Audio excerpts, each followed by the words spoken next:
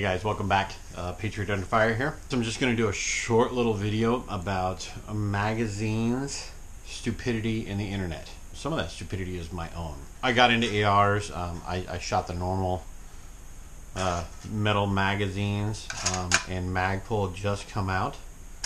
Um, actually, Magpul have been out for a while as far as their own P mags go.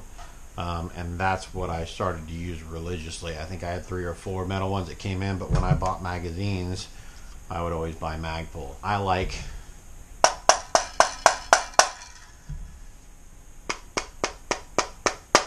uh, one sound compared to the other. I'm a big fan of them. Now, I bought a 300 Blackout last year.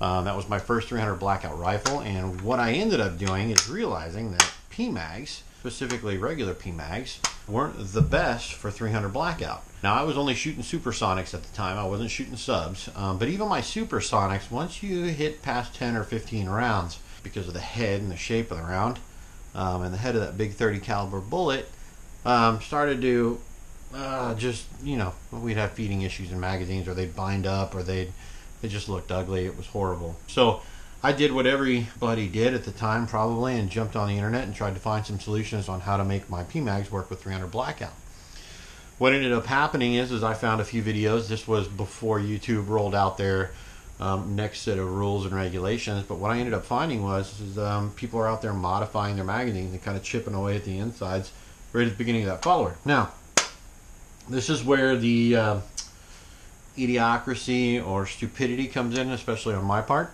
Don't do it. Don't modify your magazines. Period. It's one thing to change a part out on it but it's, it's something entirely different to take a grinder, whatever, to modify your magazines to try to make them work with something else. Uh, and I'll get to the reason why in a minute. But I, I did five magazines. I, I, ruined all five of them. None of them feed reliably now. 556 or 300 blackout. You know, I was so stoked in it that I painted them out and got them all ready to go. Um, but you just push down a little bit and she's all jammed up and I have to work to get it to come back up. So what I ended up doing from there, and this was before Magpul came out with their 300 black magazines. So what I ended up doing was I ended up kind of discovering, um, and I'm always late to the party, Lancer mags. And with Lancer magazines, I have several. I have gray ones, I have clear ones, and I have uh, this one lowly flat dark earth one. Uh, Lancer magazines kind of fix some of the issues that I brought up here. They're extremely stackable, I think. They have, they still have the reliability, I think, of a good follower, and an anti-tilt follower from like a Magpul. They have reinforced steel feed lips. Um, and my supersonic, I was able to fit 30 rounds of 300 blackout supersonic uh, in a Lancer mag and did not have any issues. Hence, I bought the clear one for that reason. I really wanted to see what was going on all the way down to the bottom. This has worked pretty well for me. I've only shot supers out of mine, have no real need to shoot a subsonic round out of 300 blackout until I get my suppressor, and that is still a ways away. In the meantime, I needed something that I could pack 30 rounds in. I built a 300 blackout pistol, and I'll do a review on that later uh, but did a 300 blackout pistol and I wanted something that I might consider throwing in a backpack, keeping it a truck gun. I wanted something heavier to, than a 9mm sub gun uh, and I wanted something obviously heavier than just a pistol to get me home and I wanted to be able to throw it in a backpack. That's what I've been using lately, especially for 300 blackout, and they've worked pretty good for supersonics. What I just got a hold of Magpul 300 Blackout uh, magazines, and I bought five of them, one for a gun and four for a rig.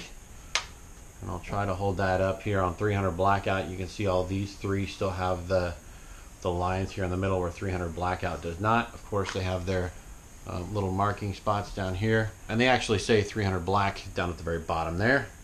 This is one texture from the top to the bottom 300 blackout mags um, are the same PMAG texture up to the middle part here, and then it's very, very smooth. Same plastic, just very, very smooth from there. And the other thing Gen M3s have uh, that I really, really like is an over insertion stop. At the bottom of the magazine, Gen M2s do not, uh, but the Gen M3s do. I have a few Gen M3 556 mags now as well, um, and I like them. I think that they are. I really like. I really like Magpul P mags. I'm just a, I'm a fanboy. I hate to I hate to say it like that, but I, I absolutely am. Don't be stupid and modify your magazines like me. Now I have five of these that I'm going to pull the spring and the follower out of and the floor plates off of and throw the magazine shells away because I ruined them. Don't be an idiot. Don't be like me. Don't modify your magazines. Thank you for watching. Until next time.